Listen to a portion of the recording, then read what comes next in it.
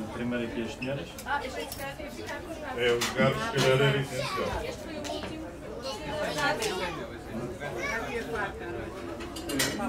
Quer- Queres dar uma explicaçãozinha? Sim.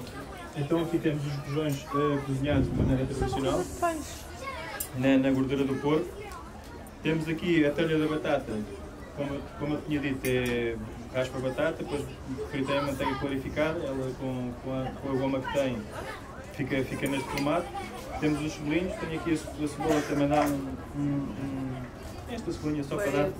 Sim, também, também para dar um, um aroma de, de, de fumo, digamos. Temos os coentros e depois tenho o jugo. É, eu pus um pouco de, de acidez também, um pouco de vinagre. Eu Pus aqui um pouco de vinagre de xerez também para dar aqui uma, uma acidez ao, ao prato. E o, limão? O limão confitado está em brunesa todo, todo envolto na, na carne. Ah, na carne. ok. Exatamente. Ok. Pronto. Vamos experimentar uma vez. aqui. Vontade, Silvia. Está aqui. Qualquer força. Obrigada.